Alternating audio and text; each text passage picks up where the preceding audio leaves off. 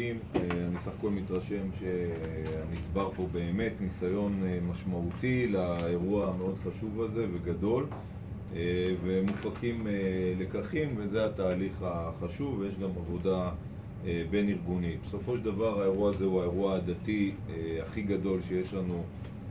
במהלך השנה והשנה זה תופס אותנו באחת התקופות מבחינה ביטחונית אולי הכי רגישה שהייתה לנו מזה זמן רב בגלל הרבה מאוד תאריכים לא רק העניין והמתיחות בצפון עם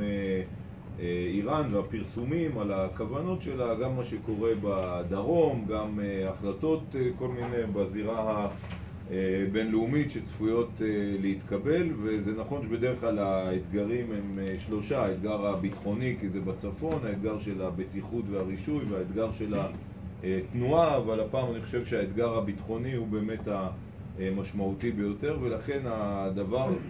שמרחף מעל הכל והוא המשמעותי זה להיערך לכל תרחיש של ירי רקטי, של כטב"ם, של כל דבר שעלול לחדור שם לאזור ולסכן את הביטחון ואת החיים של מאות אלפי המבקרים וזה באמת התרחיש המרכזי שבעיניי צריך להיערך אליו הזכרתם את כל הנושאים שיכולים לחמם את הגזרה לקראת זה